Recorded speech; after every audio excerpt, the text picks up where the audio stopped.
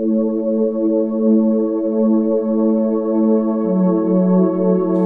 pessoal, eu sou o Dalton Campos Roque do ISC, Instituto de Sensibilização Consciencial. E estou aqui hoje para bater um papo, para conversar, para falar muito espontaneamente. É, estamos em junho de 2015 em Curitiba, no Paraná, está um frio danado aqui e eu estou em casa é, fazendo estes ensaios, né, pensando, criando, conversando um pouquinho, viajando um pouquinho também e como se fosse uma conversa, um bate-papo com vocês. Então, eu vou é, é, apresentar, mostrar, falar um pouquinho das nossas obras, tá? cujas eu sou o autor principal e eu trabalho com um pouco de mediunidade, vamos colocar assim, e são trabalhos anímico-mediúnicos. Né? A mediunidade ela é intuitiva, é inspirada, um termo melhor. Né? A, a técnica, a, a forma de escrever, o sistema de comunicação é meu, o sistema de didática, a linguagem é meu, os erros são sempre meus. Então eu tenho livros que são bem mais anímicos e livros que são bem mais mediúnicos. Mas uma coisa que as pessoas fazem às vezes, ou na maioria das vezes, é valorizar mais do que mediúnico. Eu creio que isso é um erro, né? Porque imagine, eu escrevo aqui, aí eu desencarno, vou para o lado de lá e aí passa a valer mais o que eu escrevo através de um parceiro. Né? Fica incoerente. Então nós estamos aqui encarnados aprendendo com os erros, tá? estamos é, é, ensinando também, a, apesar dos erros. Então nós estamos aprendendo e ensinando o tempo inteiro. É aquela coisa, somos todos professores, somos todos exemplos. Então me deixa eu apresentar aqui as nossas obras, falar um pouquinho de cada uma, mostrar a capa e conversar, bater um papo legal. Esse aqui é o Carlos de Suas Leis, que é a minha, a minha primeira obra. Me permitam eu me referir à obra na primeira pessoa, só para facilitar. Então, até agora, até, no, até o momento, é a, a melhor obra tem assim, um conteúdo mais aprofundado e, e, e sofisticado, sem per perder o, o poder coloquial, o poder da simplicidade, da, a graça da comunicação. Então ele é muito didático, ele é, é, é muito instrutivo e é um livro totalmente diferente de tudo que existe sobre karma no mundo atualmente. Eu falo isso com tranquilidade. Né? Basta você ler o livro, abrir, folhear ou ver o que tem dele até na internet, não, não, não é difícil, e constatar o que eu estou falando. Então, aqui eu estou com a versão do livro ainda a 2014, a edição 2014. Né? Ah, no meu computador eu já tenho a edição 2015 pronta, mais gordinha, né, mais recheada, mas ainda não imprimi nenhum. Então nós trabalhamos com impressão sob demanda. Então eu posso imprimir poucos e vender poucos, o que facilita o nosso, o nosso comércio. Então esse aqui essa capa vai mudar, ela já está sendo trabalhada e é a edição de 2014. Ela tem 358 páginas. É, a nova tem mais, eu não me lembro exatamente quantas. Então é um livro, é, não é totalmente ilustrado, mas ele é bem ilustrado. Né? Ele se preocupa com o leitor que está iniciando, que é mais leigo, né? o que às vezes não fica claro né, na imagem, vai para o texto. Se não fica no texto, vai para a nota de rodapé. Tá? E eu não tive preguiça, eu fui redundante, eu fui repetitivo. Tá? Às vezes eu explico a mesma coisa no rodapé e lá na frente eu explico novamente, preocupado com o leitor é, esquecer o que ele já leu, ou ficar mesmo com preguiça de folhear o livro. Então, é a minha experiência de professor, né, de sala de aula, de quadro, de giz mão. Então, eu tenho aqui ó, no livro ilustrado, ilustrado ele tem é, muitos esquemas, né, desenhos esquemáticos, que são os melhores, mas ele tem também tabelas.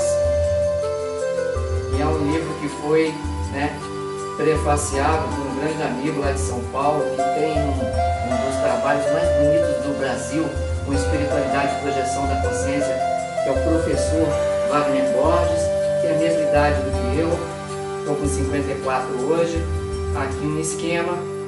Então o interessante desse livro é que ele não tem uma gota de doutrina, não tem uma gota de religião.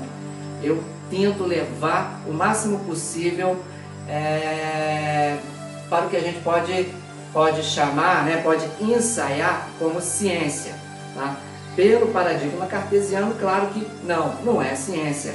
Mas já vislumbrando o paradigma consciencial, então eu posso dizer que ele tende à ciência.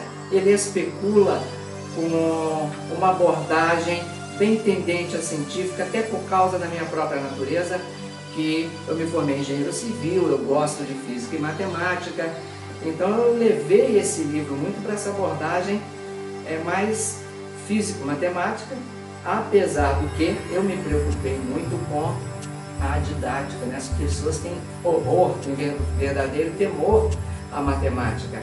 E eu me preocupei com isso. Então você, você lê o livro e não, eu vi essa figura e não entendi. Ela está bem explicadinha a seguir. Na pior das hipóteses, você vai no site e conversa direto comigo, sem intermediários, sem nenhuma, nenhum estrelismo, né?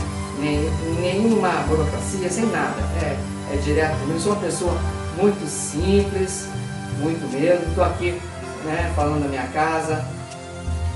Bom, ele tem mais imagens mais, mais no fim. Né? Não sei se vocês estão conseguindo ver bem daí. Né? Então, são os esquemas interessantes. A gente associa a parte astral, a extrafísica com a física, faz comparações. Então está muito interessante o livro. Eu prometo que você vai gostar, não vai se decepcionar com livro. Então, até hoje é a obra-prima, é a nossa obra-prima, né? A Andrea é coautora, ela me ajuda em tudo. Né? Nós mesmos diagramamos, nós mesmos fazemos a capa, nós fazemos tudo. Aqui nós carregamos é, montanhas. Bom, agora eu quero falar de uma das obras mais recentes. Então, eu e André fizemos duas pós-graduações na Unibem, faculdades é, integradas espíritas aqui em Curitiba, que, infelizmente se reduziu muito, diminuiu muito. E então nós fizemos Educação em Valores Humanos e Estudos da Consciência com ênfase em Parapsicologia. Nós dois, eu e André, fizemos dois cursos juntos na mesma sala e tivemos que fazer as nossas duas monografias, então quatro monografias.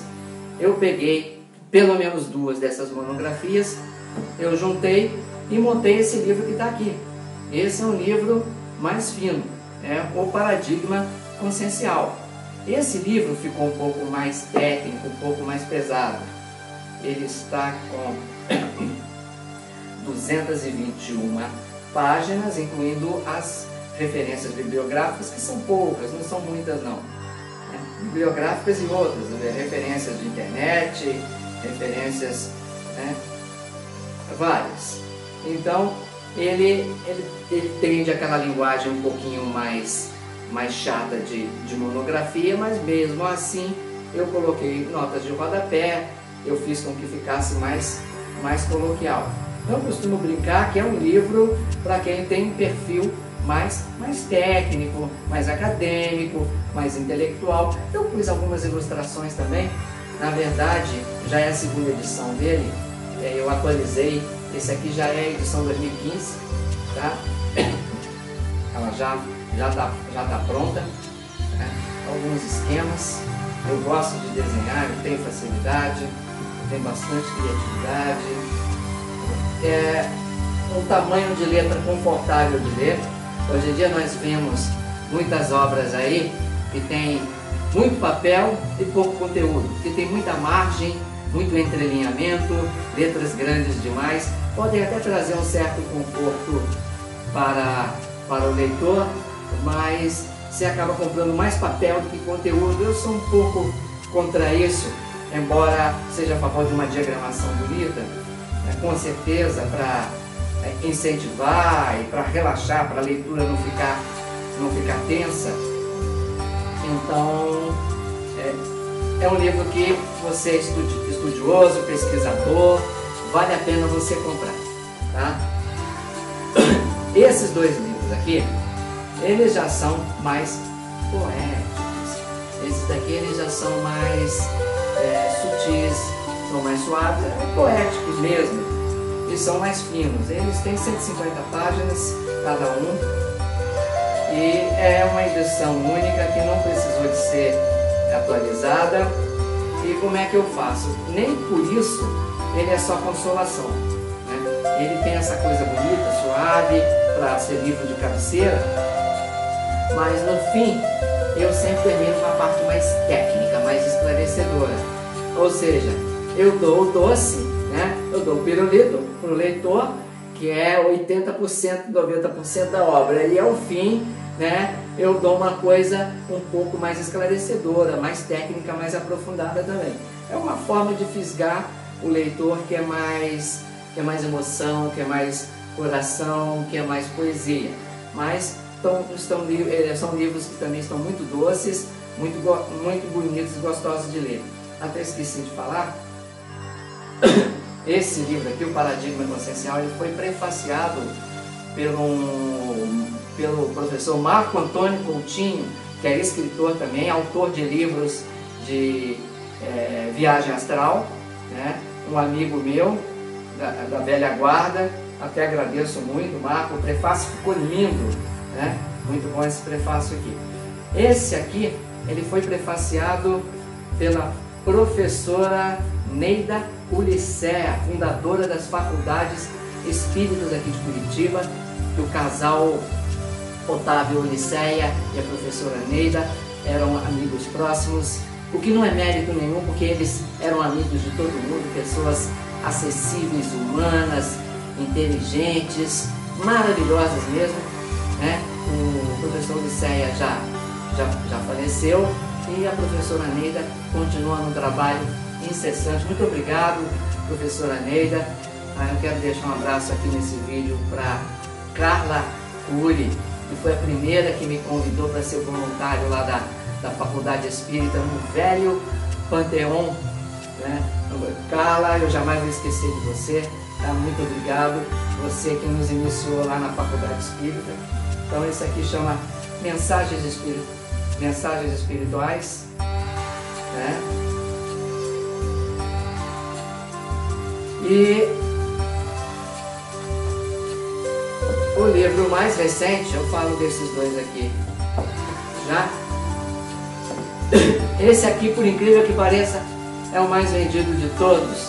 Faz muito sucesso entre os jovens, essa galerinha mais, mais jovem aqui do Brasil. Técnicas e Práticas Projetivas Bioenergéticas. É um livro fino também.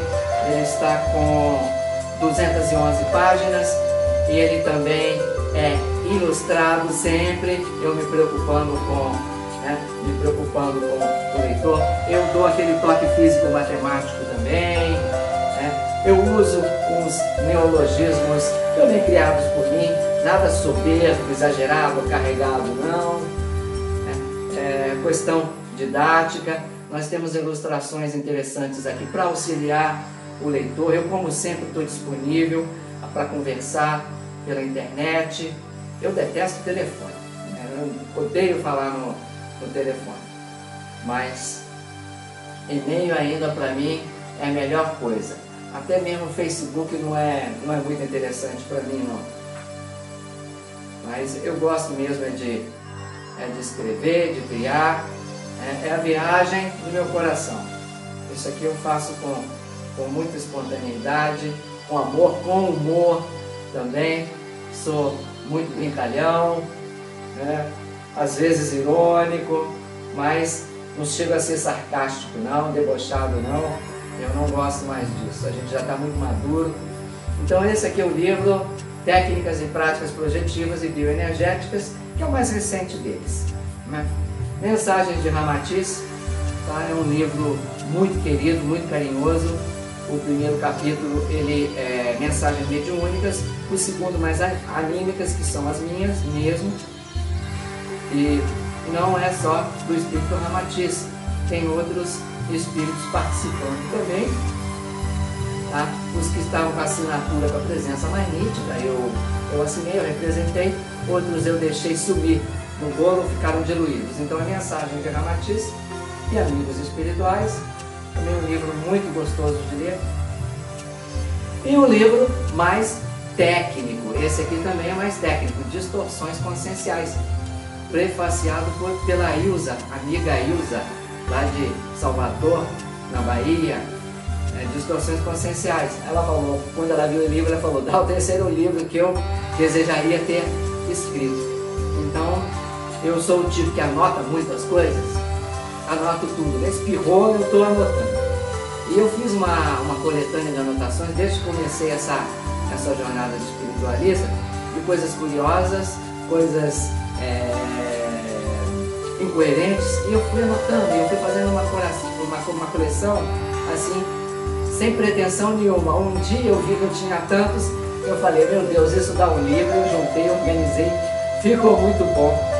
Olha, há determinadas distorções que são engraçadas, outras que são interessantes, outras que um e outro não vão entender, porque só daquele meio, daquele métier, quem, quem conhece as malícias do meio vai entender. Mas é um livro excelente para abrir o discernimento, abrir os olhos, elevar o espírito crítico, a pessoa que está começando, para onde é que eu vou, é, como é que eu vou lidar com essas linhas evolutivas que prometem mundos e fundos, onde cada uma é mais verdadeira e mais avançada do que a outra. Né? Então, isso aqui, não, não critico ninguém, não aponto o dedo para ninguém, não cito nomes de forma alguma.